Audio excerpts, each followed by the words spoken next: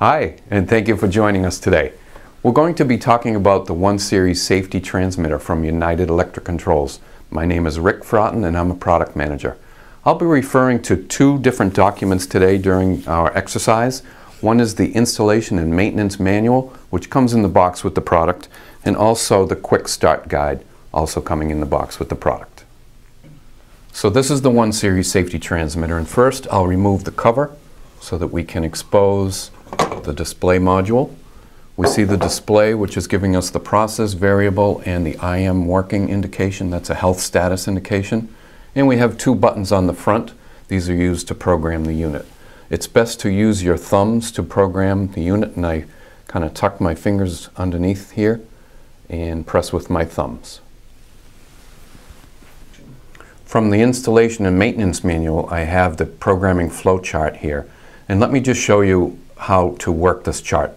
We start with the process display, which is the same as our display over here, and we can move either to the right into the menu or down in the menu, and those correspond to these keys on the front of the instrument. So for example, the first thing we might want to do is press both keys simultaneously. That allows us to enter the password. The default password is all zeros, and I'll show you that in just a moment. And once we successfully enter the password, then we are in the editing mode and we can make changes to the software. But everything starts here at the process display. On my demo, notice that I have two indicating lights. One is the I am working output, which is the health status of the product, and the green light is the safety relay output status, which is a programmable set point, and it's indicating that that has not yet been reached. Let me go ahead and enter the password. Two buttons, password defaults at all zeros unless you change it to something otherwise. And once that's accepted, and I press the right hand button again, you'll notice that the product has gone offline at this point. Referring to the programming flowchart, we're now at the clear max min section of the menu.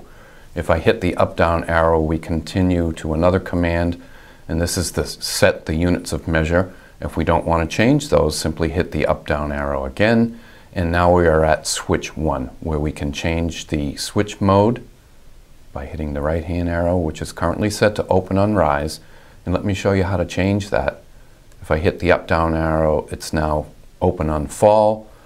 Hit it one more time, it's in the window mode, and hit it again and it loops around back to the original open on rise setting. We'll leave it there for this demonstration. If I hit the right hand arrow, set point is currently set to 3.0 psi.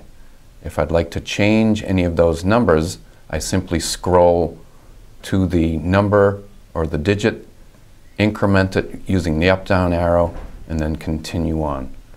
The deadband or the hysteresis of the product is currently set to 2.5 pounds. And again, if I'd like to change any of those, simply scroll over to that number and make the change using the up-down arrow.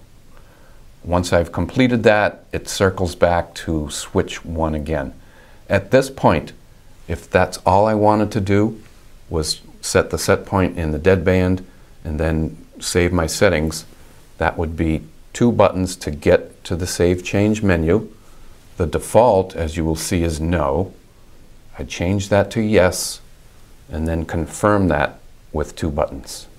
And you can see that the savings, the, the settings are being saved and once it's finished the two lights will come back on. So the product is now back online. To verify your set point and your deadband, simply hit the right hand arrow when you're in the process display mode. You'll notice those two values display. And now I'm going to demonstrate the product by increasing the pressure up to the 3.1 set point. You'll notice that the green status light has gone off. If I release the pressure, that green status light comes back on. So the safety relay output was open for a short time there and then closed again. Action. So that was the basic programming commands for the 1 Series safety transmitter. If you look on our programming flowchart, we basically covered this page by setting the set point in the deadband, entering the password and things like that. In our next video, we'll be getting into the advanced commands for the safety transmitter. So please stay tuned and take a look at our next video. Thank you.